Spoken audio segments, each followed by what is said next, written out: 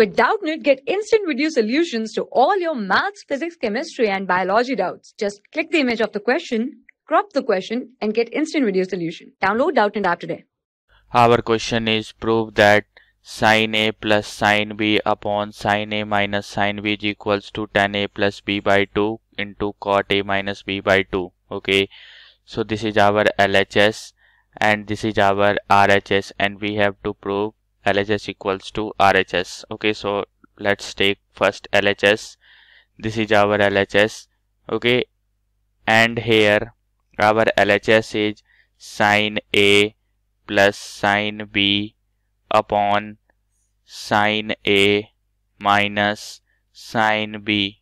Okay, and we know that we know that sine A plus sine B is equals to 2 sin a plus b by 2 and cos a minus b by 2 okay.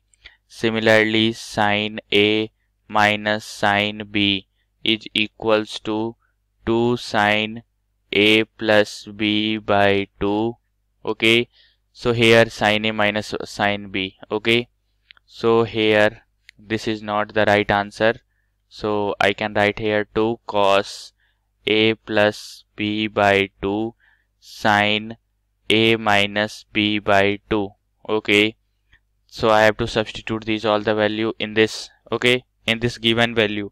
So sine a plus sine b is equals to this. So I can write here 2 sine a plus b by 2 cos a minus b by 2 upon sin a minus b okay sin a minus sin b value is this so I can write here 2 cos a plus b by 2 sin a minus b by 2 so this 2 gets cancelled okay.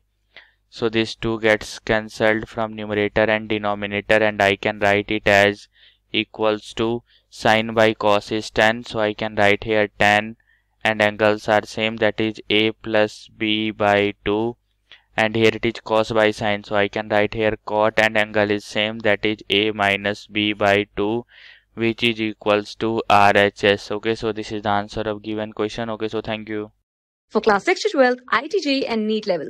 Trusted by more than 5 crore students. Download Doubtnut app today.